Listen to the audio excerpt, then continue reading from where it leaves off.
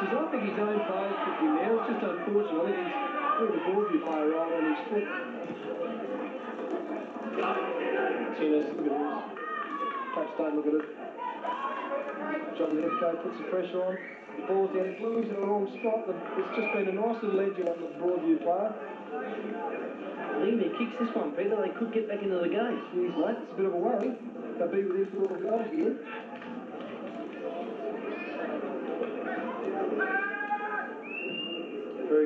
Nice, long, straight kick. Good, strong, long left footer.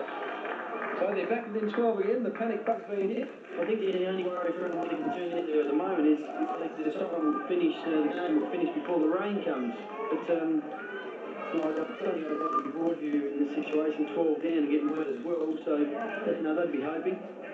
Ball, ball, ball tossed up in the centre again, Dave Simon up again, knocked down, ball put towards Broadview centre forward line. Very good attack. Marty Martin and go the. Ball put forward. Over the back of the pack and go to for a point for Broadview.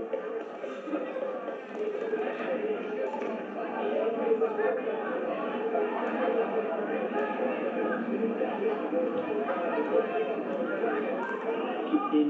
Very good. Uh, I don't think our wish is going to come true, Pete. I think we're going to get wet beforehand. Kicks up towards the centre wing. Joe's like got two feet, and he's, he's done the right thing though. He's kept two feet out of the contest. But up well on the back line. Marty will punch, and does so beautifully. Tim Morgan there probably takes the good option there, sockets it off the ground. I think he's got to apply the pressure, keeps his eye on the ball and comes out the winner, settles, and has another little, look, puts it into the corridor, which Adi gets a nice look from the back. And believe this bloke. What's he done? Well, I think Peter, the umpire has got the same legs as the Broadview players. You just can't keep up the game at this stage. But um, Yes, it was too far to go down and check out where the mark was. that'll be one for uh, John Destro to talk about back at the club tonight. Of course, JD, he doesn't mind missing out on opportunities for goals, so he'll be all right about that.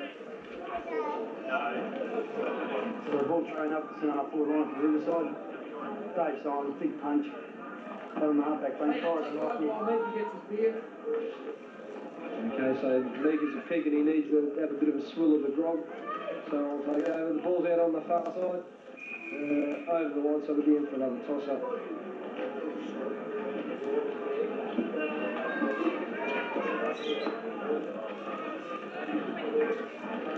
Boris O'Loughlin gets in strong at the bottom of the pack again.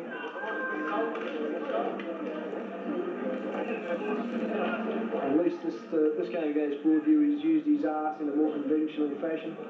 Uh, picks the ball up again, shoots towards the boundary line, and he probably got that one, but didn't just quite reach, As I pointed, as boundary I line. pointed out earlier in, in the game, Boris had a shot from 50 and I really think he needed a 60 metre penalty.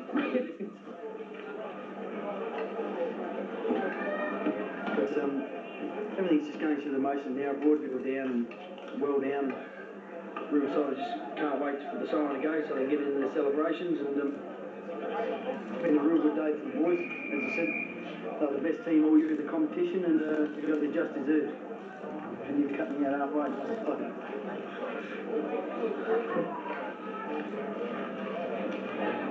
Thrown in, half or punt the wrist off, Dave Simons in there again. Boris O'Loughlin. Hands O'Loughlin. Oh, good, good. The young lads there combined well to give the bloke in the, in the best spot of the ball. Totally just missing out on that mark, but he's back in there. They push the ball forward. Damon's in there struggling. He uh, batted very well down that forward line, Damon. Two players taking a while to get up. I think they're trying to bang on side so they can get into the uh, three grog as good as they can, a few of these Uh, he's uh, handy. Dillon uh, tries to run back through a brick wall, but doesn't work. And got the full, uh, fairly healthy uh, forearm across the top of the top of the head. Important scene. And Tommy Brown, who's the rover, is doing the rucking with that drill. Brett Brown under the pack, hitting. JD still a little bit winded behind play. I think I feel we'll be bending over after that uh, Monday afternoon too, after you know five or six hours on the social side of things. JD's gone the airy.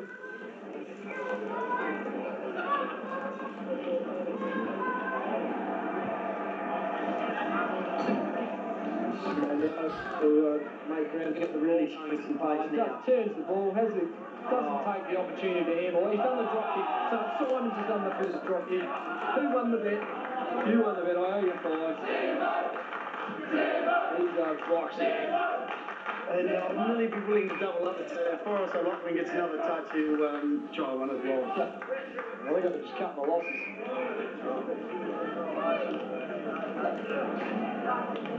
It's probably, it's probably uh, should have got odds on that anyway. The amount of time that Lachlan touches the ball, you were, you're in a better spot than I was, weren't you? Yeah, so perhaps now the game's lost a bit of its luster. We might just uh, just touch on some of the better players. Um, I don't know, Wayne. I, I, I believe that probably Joe Pavljak may have just been the Start of the game off the- and uh, followed right through. His marking really was good. his first half was sensational. Uh, yeah, I, I, would, I don't think I'm exaggerating if I said he had between sort of uh, seven, eight, or nine marks in the first half, and he's uh, competed for the second half as well. So, uh, so uh, Simo's just making an absolute joke of the game now. Woodsy comes out here. Joe Pavljak's got the ball. Handballs over to Tim. Tim Morgan now kicks the ball towards. So, so going along from there, I think I think Joe's been of South Africa, he's uh, another predominant player. Uh, Tommy Brown's been uh, Tommy Brown's been useful. There's a bit of a skirmish down here.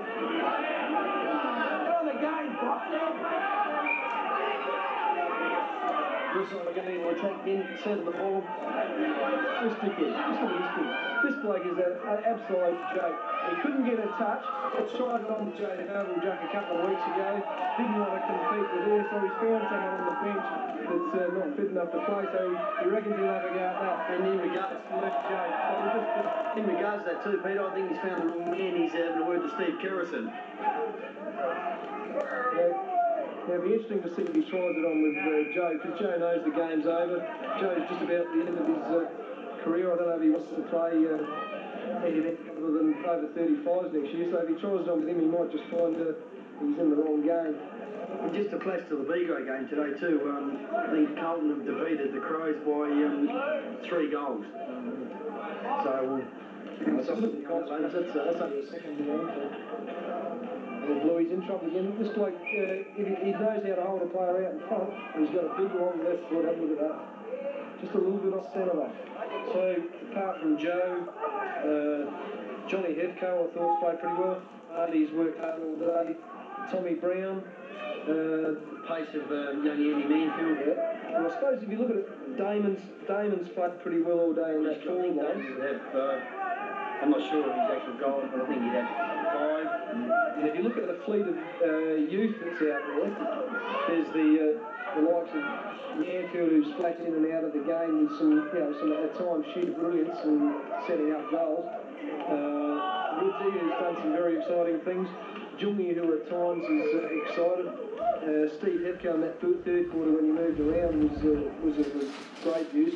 And even young uh, Brett Brown I thought at times uh, has got him with the body and shown a bit of maturity. So so some uh, some interesting future there I think the uh, big, yeah, that's exactly what I said, I think the big plus of the game um, is the maturity shown by a lot of the young fellas, which, which will put them in good stead for their future.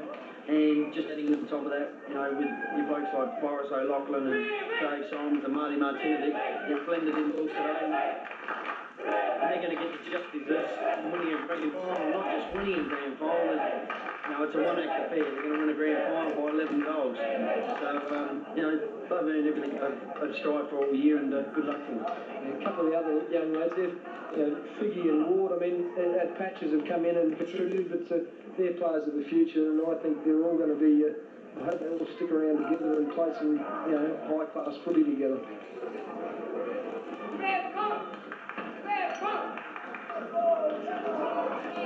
The lads are obviously getting bored. As I think now, I think Broadies should just be waiting for them. And as we can see, the timekeepers are meeting, and um, You just have to come across Peter and blow the siren. So it's all over Darla shouting and Riverside have come up trying to feel really strong in front. He's going in victory again today, so that's uh, useful for the future of the footy club. Brett Brown, uh, these young lads are taking the responsibility for this game, so uh, you Simo's played a good game, but Simo hasn't had to you know, shoulder the responsibilities. Well, coach, as you can see, a good season. As you can see, Riverside run out winners 18 14 7 12. I won the and the best team won in the year. They deserve what they've got and um, congratulations to Ron Tanner, Billy Cox, Johnny Gotch, Johnny Gotch, everybody. The training staff, all been, all been very loyal. And tonight, tomorrow, and one would imagine on Monday, these boys will be uh, uh, soaking up the glory and the suns.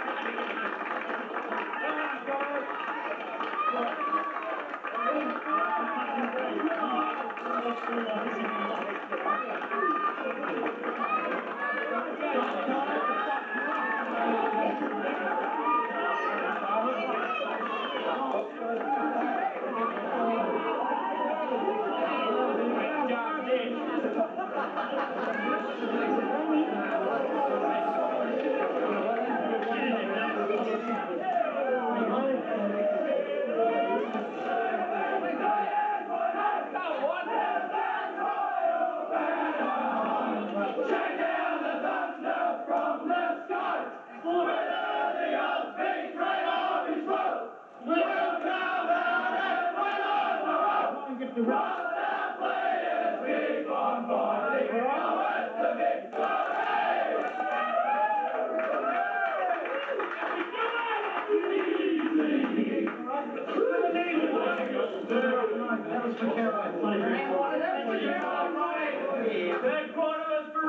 Yes! That's it. How easy throw it? The home comes. Just sit like fellas.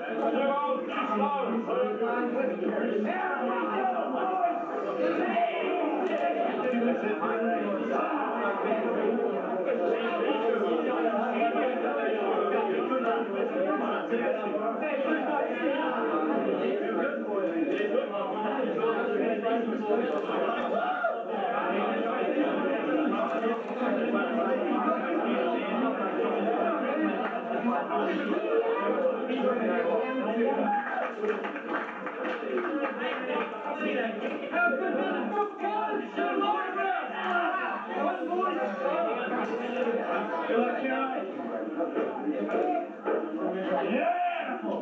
Did a good job, and uh, Ronnie's a good coach. Man like Jacko and Carol and Kieran could make it. But hoping next year all these young lads will fucking really Oh, get on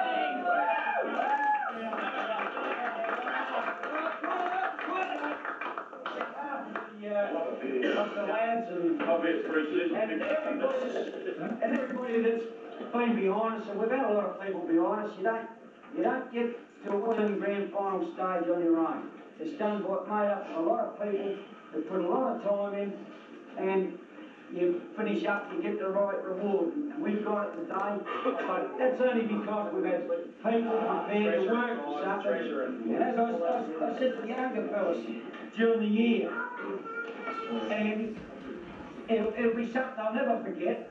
I feel sorry for the boys that weren't out on the track today, but that's why we're here today, because we had to back up from That's those it. guys. And that's what's made us, they finished up a real close knit unit. I'm proud of every one of the guys that pulled their boots on. The people that got behind me, ever since we've been having a, a go at the C grade, with, with Bub, he's here, where is he?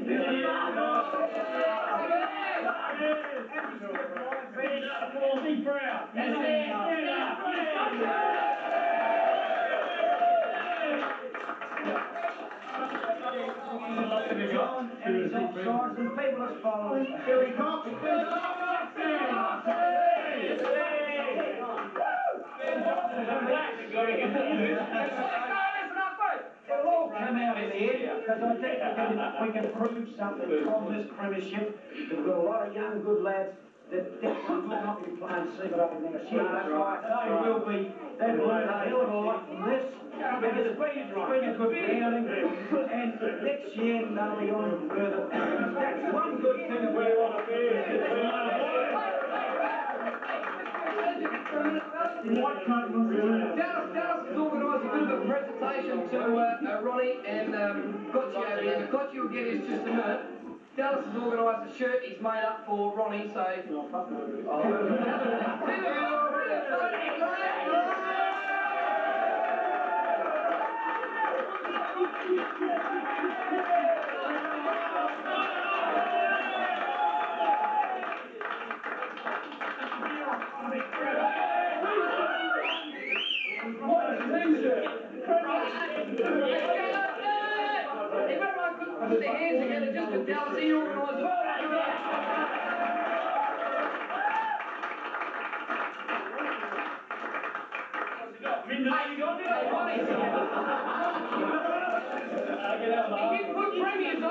Oh, I mean, that.